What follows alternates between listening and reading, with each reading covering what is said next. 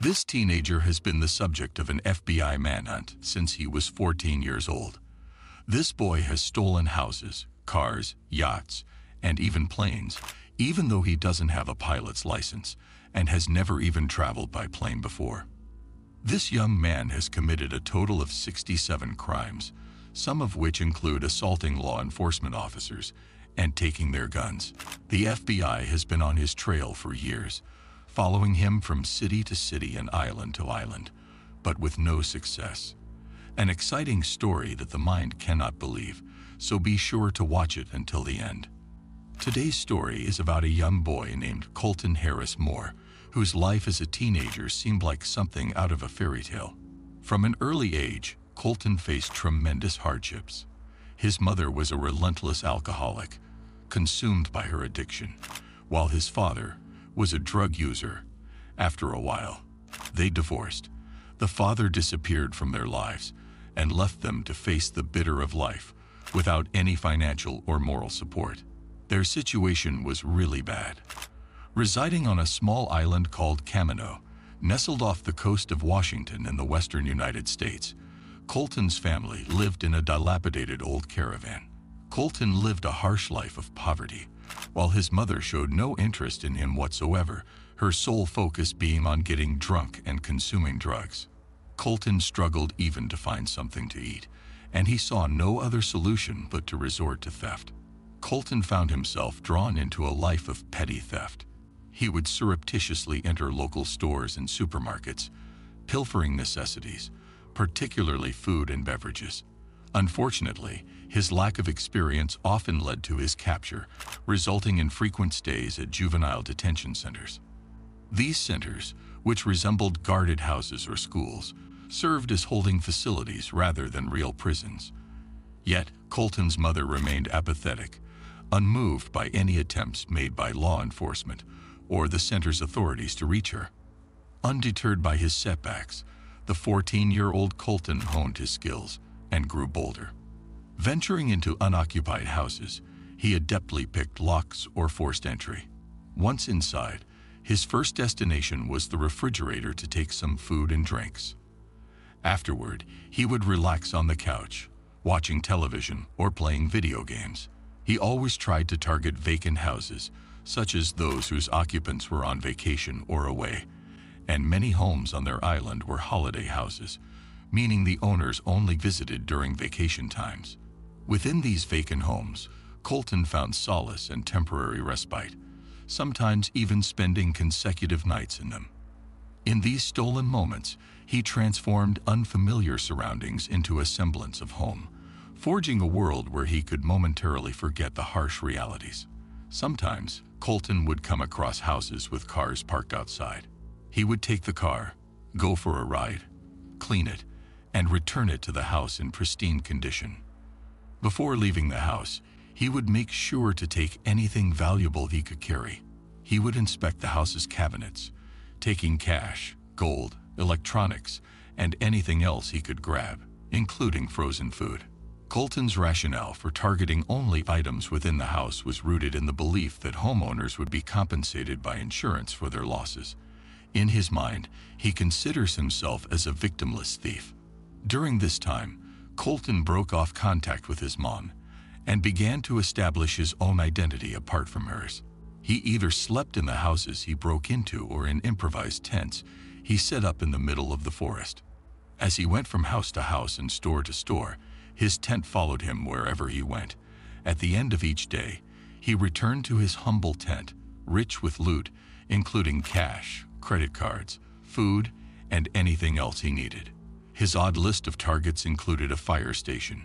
He was aiming to steal a thermal imaging camera used by firefighters to detect people behind walls.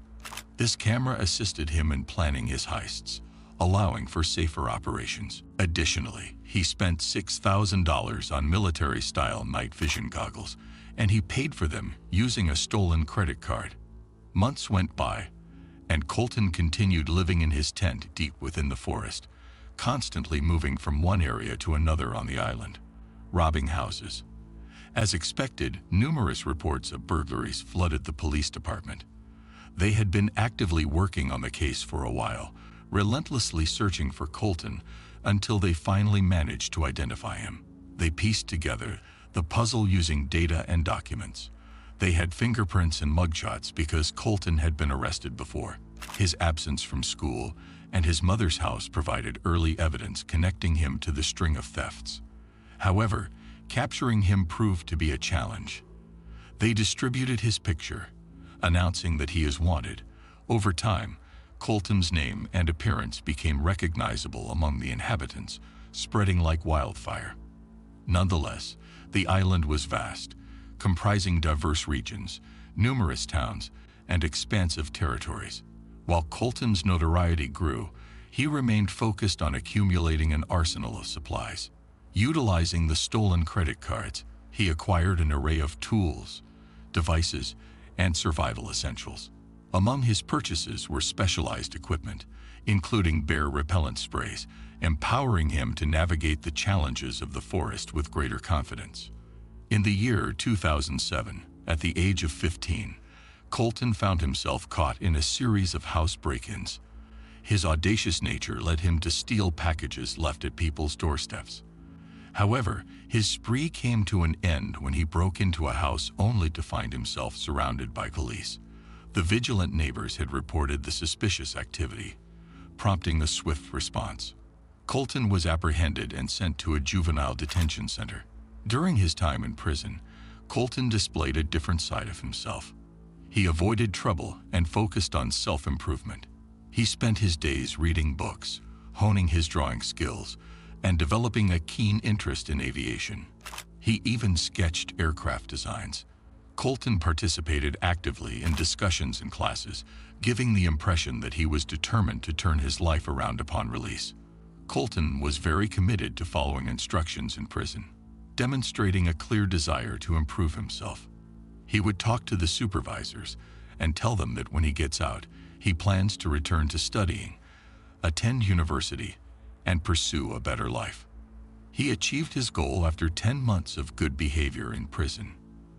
They transferred him to a detention center, and there he simply started observing the movements of the guards, analyzing and understanding the routine of the security monitoring in the facility. One night, he took his belongings, quietly sneaked out through a window, and escaped from the detention center. The center didn't even have a fence or a mesh on the outside, so it was easy for him to climb out the window and descend.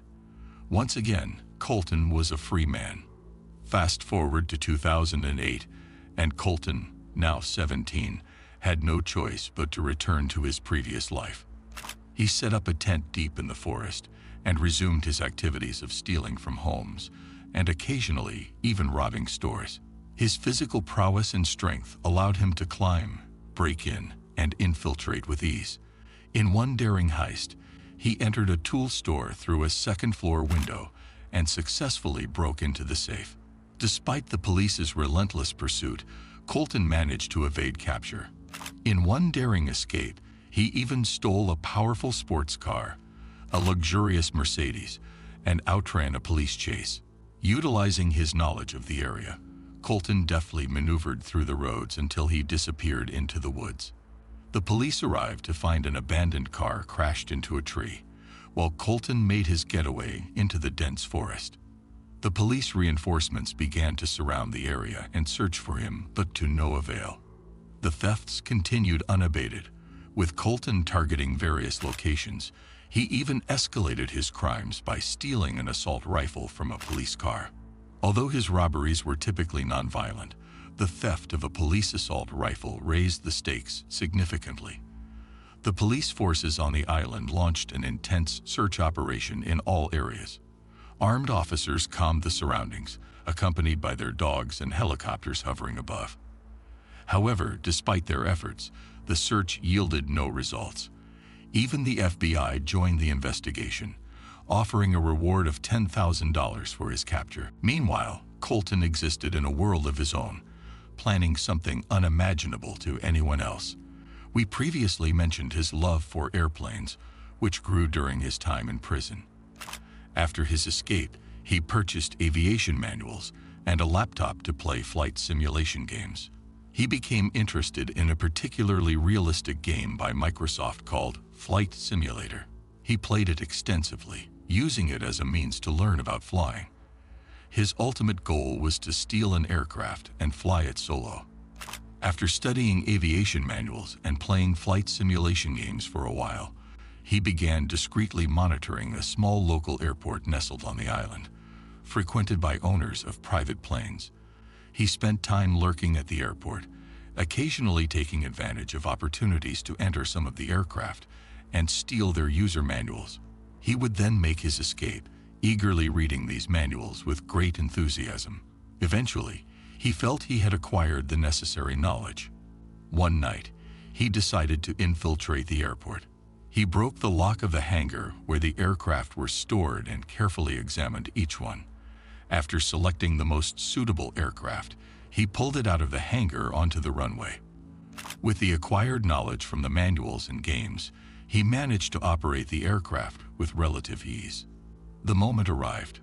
Colton took flight, flying over the clouds with an exhilaration that transcended the boundaries of his wildest dreams. Maintaining a moderate altitude of no more than 18,000 feet, he skillfully evaded radar detection camouflaging within the airspace reserved for helicopters and small private planes. His stealthy maneuvers went unnoticed by air traffic controllers. Amidst the euphoria of his airborne adventure, Colton overlooked a critical detail, the dwindling fuel reserves within the stolen aircraft. A realization struck him, the imminent challenge of landing safely. The landing, notorious for its complexity and danger, awaited him. With limited options at his disposal, he resorted to a controlled crash landing, an act of controlled destruction. Selecting an open area, he guided the aircraft towards the ground, its impact reverberating as it plowed into the earth. Astonishingly, Colton emerged from the wreckage relatively unscathed, his body adorned with mere scratches and bruises. Without delay, he emerged from the remnants of his airborne triumph and forged ahead, disappearing into the sheltering embrace of the nearby forest. The authorities, notified of the stolen aircraft, never entertained the notion that Colton could be connected to such audacious acts. Their suspicions instead gravitated towards the involvement of drug traffickers, attributing the bold escapade to their illicit dealings. However, Colton's escape continued as he evaded the authorities on the island. The police were relentless in their search, even discovering his tent and confiscating his belongings, but he always managed to stay one step ahead. Colton observed their movements from a safe distance and remained hidden. The police began suspecting him of being responsible for the airplane thefts, as the aviation manuals found in his tent matched the stolen airplane. They found it hard to believe that this teenager, who had never boarded an airplane before in his life, could steal and fly an aircraft. On the other hand, Colton decided to venture to a neighboring island, which belonged to the state of Washington. He stole another plane and smoothly landed it on the new island. Inside a supermarket there, he noticed an ATM and found a forklift truck used in warehouses. Colton took the forklift, drove it into the ATM, broke it open, and took the money. This was not the only theft he committed on this island. He targeted multiple places, with surveillance cameras capturing his every move and fingerprints everywhere, the police realized he was present on this island. This time, they were certain that Colton, the mad boy, was responsible for the airplane theft. Colton's name and pictures began to spread, and he gained a peculiar following who dubbed him the Barefoot Bandit due to his habit of being barefoot during his heists. His nickname gained popularity, leading to fan pages YouTube discussions, songs, and graffiti art dedicated to him. Colton seemed to relish the attention and even left his mark by drawing footstep marks on the floor of a supermarket during one of his thefts, acknowledging his fans. Eventually, Colton decided to leave this second island because the police and the FBI were intensifying their pursuit. There was even increased monitoring at local airports. This time, he chose a different mode of transportation, simply stealing a boat by taking its key. He sailed it from the island to Canada, crossing the maritime borders without detection by the Coast Guard. He spent a few weeks there, where he met two individuals who became his friends. They were unaware of his identity. After spending a few days together, they separated, and later they saw news reports about an American runaway. They realized that this was the same person they had met. Feeling the heat dying down, Colton stole another boat and returned to the United States. He resumed his car thefts, but implemented a careful strategy. He avoided using the same car for too long and never refueled at gas stations to avoid surveillance cameras. Instead, he switched stolen cars when they ran out of fuel. This pattern continued until he reached a local airport in Idaho, near Washington state. Colton stole another airplane and flew it to Granite Falls, Washington. When Colton arrived in this area, he saw an empty piece of land ahead and decided to land on it. During the landing, he discovered that the land was filled with cut tree stumps, causing a rough landing that damaged the plane. Fortunately, Colton survived without any serious injuries and immediately headed toward the forest. However, this time the area was not deserted, and there were people who witnessed the plane crash, including a man who worked in logging. He approached the plane and immediately informed the authorities. The FBI and specialized helicopter units swiftly arrived, and the police immediately began an extensive aerial search. They sealed off the area and established wide-ranging checkpoints. Meanwhile, a local family reported seeing a suspicious individual amidst the trees near their home. Acting promptly, the police rushed to the scene and commenced a thorough search. Unbeknownst to them, Colton was hiding there and managed to evade capture, abandoning his belongings in the process. The authorities confiscated all his possessions including a bag containing around $20,000 in cash, as well as a camera with selfies of Colton in it. Despite the extensive search efforts by the police, FBI, and special forces, they were unable to capture him again. On the other hand, Colton successfully stole another plane for the fifth time, and this time, his destination was another island also located in Washington state. Fortunately, the landing went smoothly, and the plane remained intact. After a few thefts in the area, Colton decided to lay low for several months, sensing the increasing intensity of the pursuit. Some of his fans even started to speculate that he had died or drowned at sea, as it was unusual for him to remain quiet for an extended period. However, Colton surprised everyone by leaving a large footprint drawing at the harbor, and with this footprint, one of the boats was missing, indicating his return. After stealing the boat from this harbor, Colton went to another island called Lopez Island. There, he stole another boat once again and then returned to his original island, Camano Island. The problem was that the island residents hated him. They convened meetings to devise strategies on how to apprehend him. Nightly patrols and search groups were organized, armed to the teeth. Even airplane owners spent their nights stationed beside their aircraft. On the other hand, Colton had no intention of staying on the island.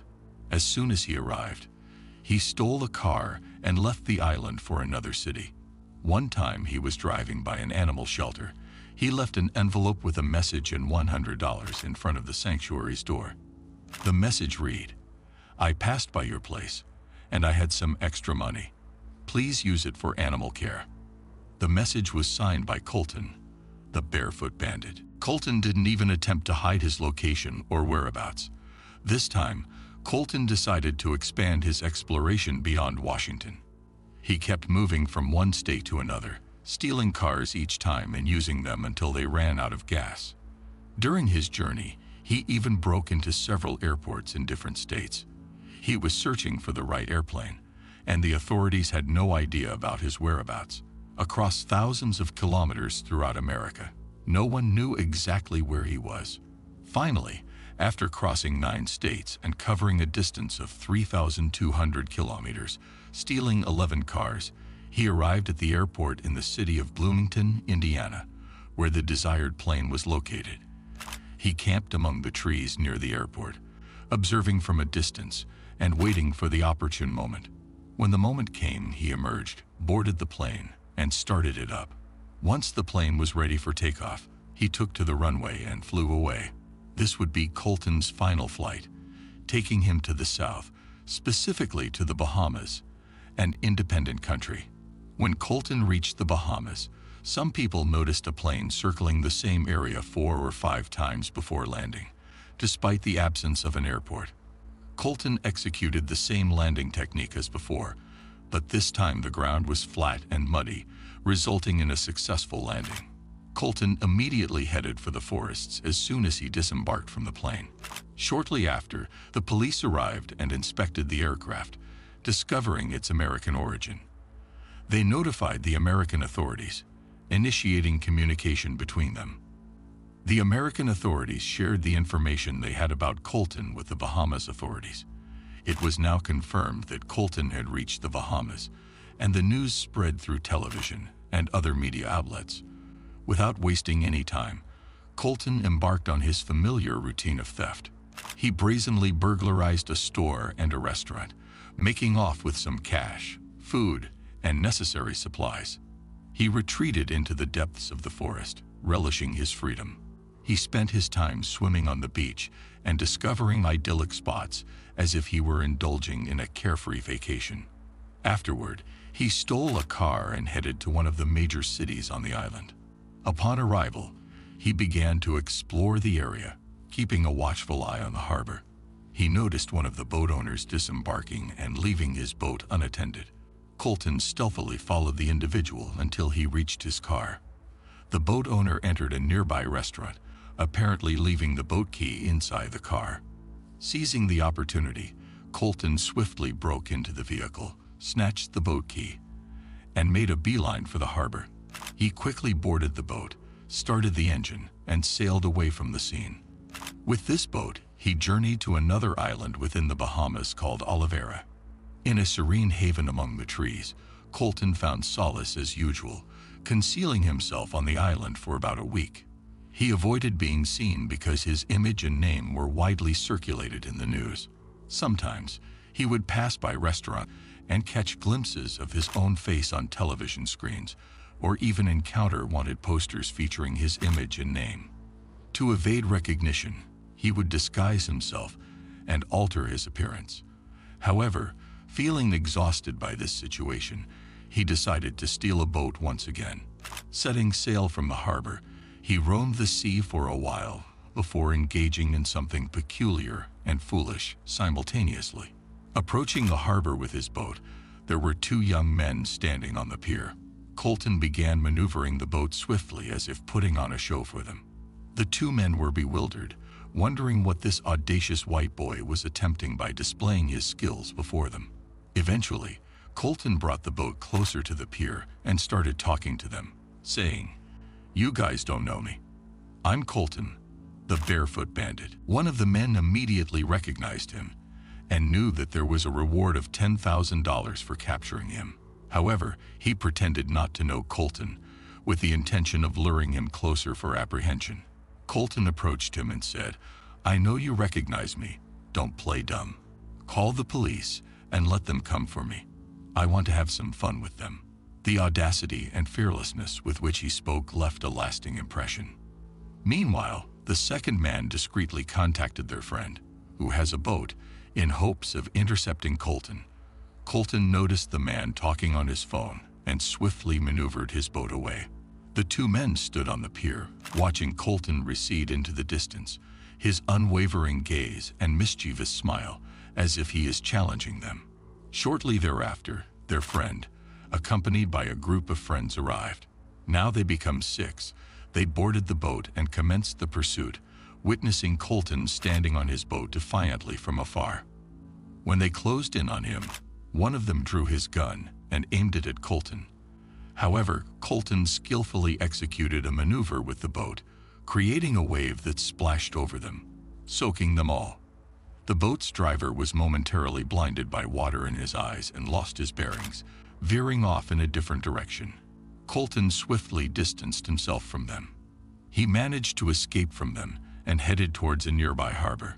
This harbor was situated directly behind a house resembling a palace, guarded by a security guard who observed the unfolding events from a distance. Filled with astonishment, he saw a boat chasing another one, one with a lone boy and the other carrying a group of people screaming and pursuing the boy's boat. The security guard contemplated calling the police at that moment, but then noticed Colton's boat swiftly approaching the harbor. He signaled for him to slow down, but Colton crashed the boat into the harbor and immediately jumped off, sprinting until he reached the harbor's dock. The security guard was standing in front of the house and Colton, gasping for breath, told him that they were trying to kill him. After that, he quickly bypassed the officer and disappeared into the bushes and shrubs, running towards the house. The security man chased after him, maintaining a short distance between them. Ultimately, Colton hid among the shrubs surrounding the house. The security officer promptly contacted the local police commander, and he told him that he just saw the boy from the news hiding in the garden of the house that he is guarding among the bushes. The police chief immediately alerted the police forces in the area and the harbor, and they began to surround the place. Colton couldn't escape from the area, as there was no open space for him to make his way out. But nothing is impossible for Colton. He continued to sneak between the bushes and went around the harbor from the other side, quietly descending into the water while they were searching above. Slowly, he swam towards a boat and climbed aboard. At that moment, many people, including the police, boat owners, and residents, were standing in the harbor. They saw a boat moving silently and slowly with dimmed lights. They were puzzled as to why the boat was moving. Suddenly, Colton accelerated to maximum speed and distanced himself from the harbor. At that point, people realized what was happening and quickly notified the police. However, the police boats were not there. Some individuals who were present in the harbor offered their boats to the police for the chase. The police boarded the boats and started pursuing Colton, but he had a significant lead. Throughout this time, Colton kept looking back to gauge their proximity. In a moment of distraction, his boat hit a sandy extension from the island that he hadn't noticed before. The boat got stuck in the sand, and despite his efforts to push and rev the engine, the propellers hit the sand, immobilizing the boat. The police closed in on him. They aimed their guns at him. Then something strange happened. Colton raised the gun he had in his possession and pointed it at his own head, threatening to shoot himself. The police urged him to put down his weapon, but he kept screaming, It's impossible to go back. It's impossible to go back. However, with his other hand, Colton was trying to free the boat from the sand. In a sudden twist, he rotated his body and forcefully turned the boat's engine to its maximum capacity. Miraculously, he managed to dislodge the boat from the sand. But that very moment, the police opened fire, not aiming at him, but at the boat's engine. Their focus was on disabling the engine. In the end, as soon as the bullets were fired, Colton dropped the gun, placed his hand on his head, surrendered, and repeatedly shouted, I surrender. I surrender. The police, after confirming that the boat couldn't move, instructed Colton to raise his hands. They approached him and finally arrested him completely subdued. After two and a half years since his prison escape, Colton was apprehended. As soon as they arrested him and brought him back to the harbor, a crowd gathered, capturing the moment on camera. Colton even tried to hide his face. He didn't want to be photographed. The police of the Bahamas accomplished what the American police, FBI, and even the special forces could not. Here, we see moments of Colton's transfer by plane for trial in the Bahamas. The strange part is that after the Bahamian authorities held him accountable for all the thefts and crimes he had committed there, they sentenced him to a fine of only $300 for entering the country illegally. However, because they wanted to hand him over to the U.S. authorities as soon as possible, the charges and punishments awaiting him there were much more severe. The second time Colton appeared in custody, they had him wearing white shoes. After Colton was handed over to America, he was tried in 2010, and his trial continued for several months. Of course, at the age of 19, he was no longer a minor and was to be tried like any other adult man. The charges against him were numerous. He faced 67 charges in three different countries America, Canada, and the Bahamas. A potential sentence awaiting him could be as long as 30 years or more. Fortunately for Colton, they appointed one of the best lawyers, John Henry Browne, to defend him.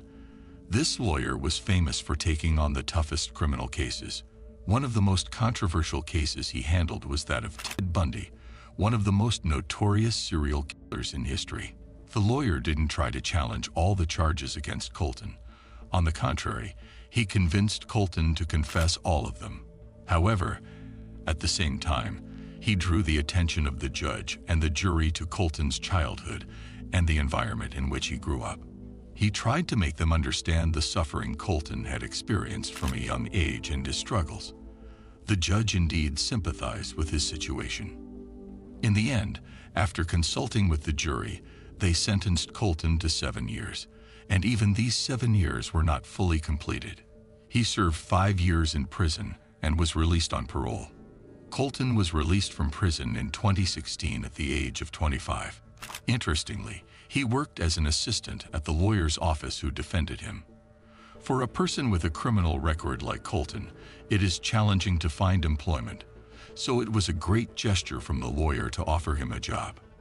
In some interviews afterward, Colton spoke about his intense dislike for the person he used to be in the past and his desire to distance himself from that person as much as possible and leave the past behind.